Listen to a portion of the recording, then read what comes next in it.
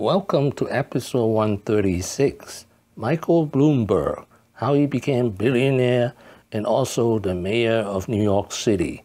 This is an outline of episode 136. There are three reasons why we study Michael Bloomberg. First, he is in the top 10 richest self made billionaires in the world. Second, he was mayor of New York City for three terms. Third, he has donated more than $4 billion to charity. Let us meet Michael Bloomberg. The year was 2001. Bloomberg, at the age of 59, was running for his first term as the mayor of New York City. Why would a multi-billionaire like you want to stand on a street corner in the early morning in the Bronx and want to be mayor of this town? Why? Because it's the greatest city in the world and the opportunity to lead it and to make a difference and to do things that everybody says can't be done, it's just too much to pass up. And in this poorest of New York's five boroughs, one of its richest men is out pressing the flesh. Stop and say hello to Mike Bloomberg. He's running for mayor. Say hello to Mike Bloomberg. He's running for mayor of New York. For low-income earners here, it's a fleeting encounter with the $5 billion man. Bloomberg would lead New York City for three terms from 2002 to 2013. So, how did it all begin? Michael Bloomberg was born to middle class Jewish immigrant parents in Boston, Massachusetts in 1942. In high school, he was an Eagle Scout.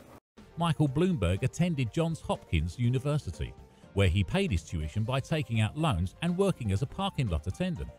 In 1964, Bloomberg graduated with a Bachelor of Science in Electrical Engineering from Johns Hopkins University. In 1966, Bloomberg graduated MBA from Harvard University. In 1966, he landed his first job as an entry-level position with Salomon Brothers, a Wall Street investment bank.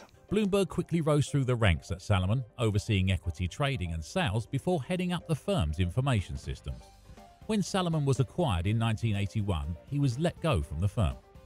In 1981, at the age of 39, using $10 million from his severance package, he went on to found Innovative Market Systems.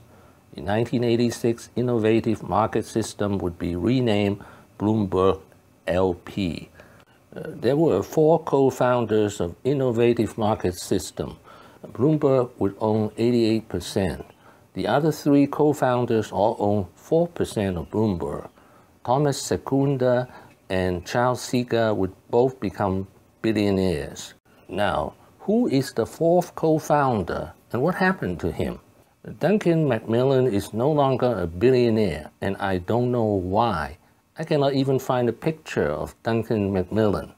One of the first chapters, The Last Supper, The Thrill of Getting Fired. Explain. Well, uh, I got thrown out of Salomon Brothers uh, when we sold the company. And technically, I was just not asked to join the new company. And while that hurt my ego, we were selling the old company, and so I got a lot of money at the same time, uh, which is slightly different than a severance. But uh, because technically I wasn't fired, I just wasn't asked to join the new company. And you got $10 million. That's what the book says. Put some of it into a bank account and started the current company.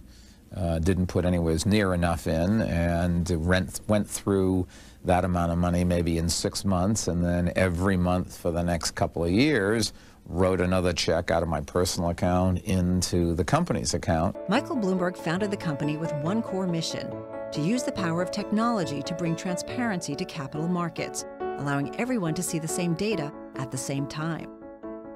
That transparency is crucial to making the global marketplace efficient, fair, and dynamic. Today, Bloomberg is one of the most influential and innovative companies in the world. Bloomberg has nearly 19,000 employees in 192 locations in 73 countries, including over 2,400 news and multimedia professionals and 4,000 technologists who are constantly creating new solutions. His big innovation was the Bloomberg Terminal. The company's core product, the Bloomberg Professional Service, also known as the Bloomberg Terminal, connects over 327,000 top business and financial decision makers, investment firms, corporations, commercial and central banks, government agencies, universities, and high net worth individuals. In 2008, uh, Merrill Lynch agreed to sell its 20% stake in Bloomberg for $4.5 billion. Bloomberg raised his stake in the company from 68% to 88%.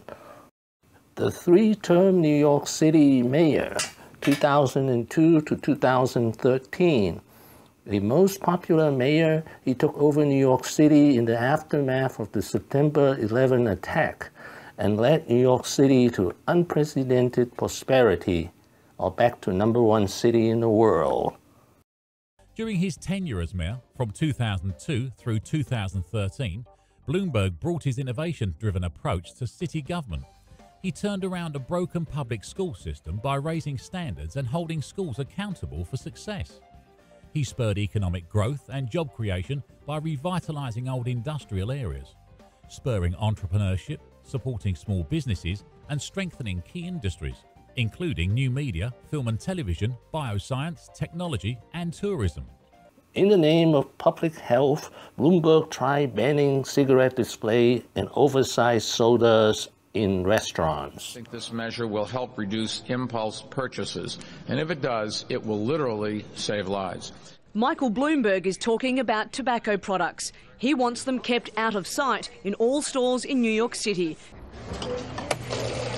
On the 11th of March, a New York state judge struck down his plan to put size limits on soda drinks in restaurants, cinemas, sporting venues and other places. In 2014, Bloomberg briefly tried to do philanthropy full time. In 2016, he was urged to run for the President of the United States, but chose not to. He endorsed Hillary Clinton instead. One of the top 10 wealthiest men in America, former New York City Mayor Michael Bloomberg, is once again pledging his commitment to research and education, making a $300 million donation to the Johns Hopkins School of Public Health that bears his name. A fraction of the 1.5 billion, yes, billion Bloomberg has donated since he graduated 52 years ago. Gift will beef up manpower at Hopkins on five issues Bloomberg believes impact quality of life drug addiction, environmental threats, adolescent health, obesity, and gun violence in America. And hoping to change lives of millions across the country with some huge support from an alumnus. What have I learned today? Michael Bloomberg will forever be remembered as the three-term mayor of New York City and the Bloomberg School of Public Health at Johns Hopkins University he founded, and for many issues he stands for besides making tons of money in Wall Street. Thank you for watching. Please subscribe and leave your comments and questions below. My next video will be Michael Bloomberg, 8 Lessons. Wishing everyone peace and prosperity.